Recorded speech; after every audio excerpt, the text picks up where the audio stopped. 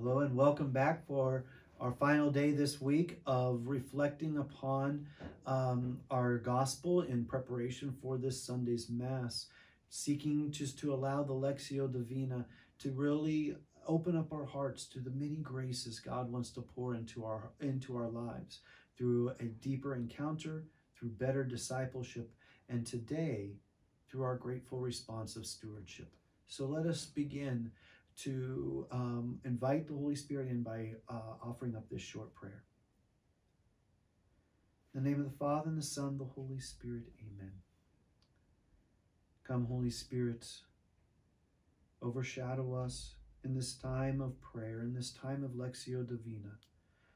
Open up our hearts to the many graces that God wants to pour into us so that filled with your presence, the Father and the Son and yourself, Holy Spirit, we may encounter you, follow you, and as stewards, make a great, res- grateful response in love of you and of our neighbor. We ask this through Christ our Lord. Amen. Jesus said to his disciples, If you love me, you will keep my commandments. And I will ask the Father, and he will give you another advocate to be with you always, the Spirit of truth, whom the world cannot accept, because it neither sees nor knows him. But you know him, because he remains with you and will be in you. I will not leave you orphans. I will come to you. In a little while, the world will no longer see me, but you will see me, because I live, and you will live. On that day, you will realize that I am in my Father, and you are in me, and I in you. Whoever has my commandments and observes them is the one who loves me. And whoever loves me will be loved by my Father, and I will love him and reveal myself to him. And so, just allowing these words to touch our hearts as the Lord continues to evangelize us and invite us to an intimate following of Him in our discipleship. Let us see how the Lord and our hearts then, in response to the Lord, want to make a grateful response.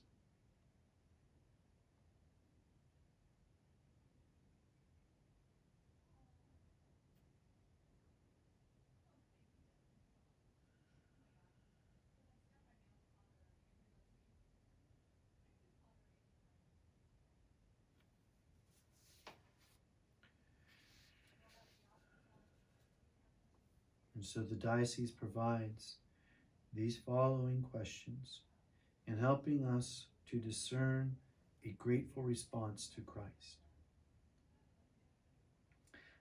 Have you ever noticed resistance to being obedient to Christ? This question is important because to make a grateful response is to have that obedience and never to be resistant to it just to simply, in openness, to allow the Lord to continue to work in our hearts, just to obey His promptings. And to identify then those resistances that prevent us from making a grateful response. So just to maybe that's the question Maybe that's where the Holy Spirit is directing you so as to help you to grow in your stewardship by identifying those little areas of resistance.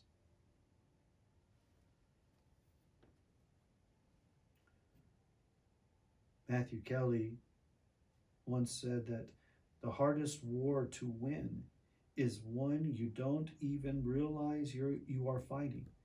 And the hardest enemy to, to defeat is the one you don't even know exists. Every day, you are at war with resistance. So, this quote by Matthew Kelly Do you think simply noticing resistance to following God's will could help you grow in obedience? St. Ignatius of Loyola would, in a way, call this a, an awareness. You know, before we can move forward, we, ha- we have to be aware of what is happening to us or what is um, the cause of that resistance in this case. Because without an awareness, I don't understand it, nor can I do anything to correct it. It's sort of like being sick. You know, I have to be aware of my symptoms when I go to the doctor to tell him or her who or what it is in me that's wrong. I have to be aware of it. Just going to the doctor and saying, I'm sick, does not bring about a cure. But it's the awareness of knowing my head aches, my body has chills, my stomach hurts, it's difficult to breathe. All of those things then allows the doctor to begin to work upon us. And it's the same thing then in the spiritual life. If I am aware of these resistances, if I know what it is, then I can bring it to Jesus and say, Lord, I have come, I've come to notice this, and I give it to you. So to be able to see that and the importance of noticing, of being aware. How do you feel God calling you to respond to Him, to, to love Him more deeply by following His commandments more closely? So, what is that invitation like? What is your heart experience? Jesus desires you to draw closer, to love you more and more. How does your heart want to respond to that? as Jesus just says, I want to love you. I want to be in you completely as you are in me completely. Just to think and just almost to imagine, to close our eyes and to see Jesus and just Him saying to us, All I want is you. and to love you.